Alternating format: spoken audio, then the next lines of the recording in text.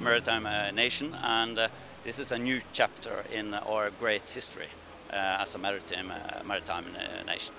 Well, it's uh, it's been a really inspiring uh, day because uh, for quite a few months now I've been watching this boat on, on, on paper and on my computer screen, but to see it in real life on on the water like this is is really something special. Well, it wouldn't be possible without partners as. Um, fertilizer company, uh, we, we, can, uh, we're the customer and we're, we're going to, to bring this into our our value chain, uh, but we realize that our expertise is in in certain areas, and then for, for this we, we, we don't have the expertise, but we have uh, at least the guts to, to go ahead with something that hasn't been uh, tested before, uh, but then we want partners on board that we know can help us to deliver this. Kongsberg is, uh, first of all, a, a technology uh, company. we have been working on autonomy for decades in several areas, and we are well known also in the maritime and oil and gas industry.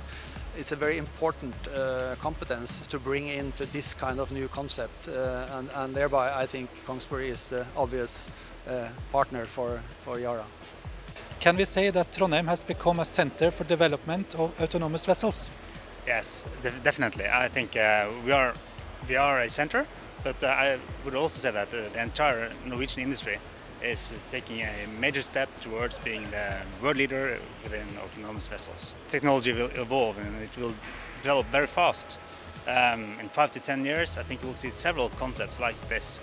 Um, I am pretty sure that we will see many commercial vessels already in place, and I think uh, the development will it will probably and hopefully um, be something that is going to be um, uh, going on for uh, for decades uh, autonomous or partly autonomous and autonomous uh, shipping uh, going to be uh, an important solution uh, for the future.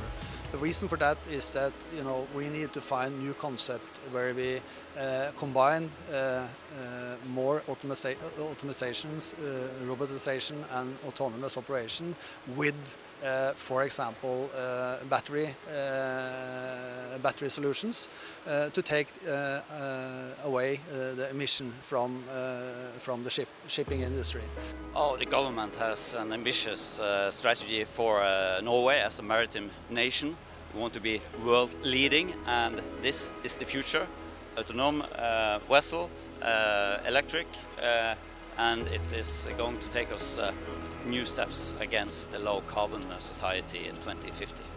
Well, I, I, think it will be exciting every every milestone uh, now to see it until it's on, uh, on, on the water in the first quarter of 2019. And but but for, for me that's just the beginning of, of this. I, I think through this project we're uh, establishing the opportunity for a brand new way of looking at uh, maritime uh, transportation. So many more to come.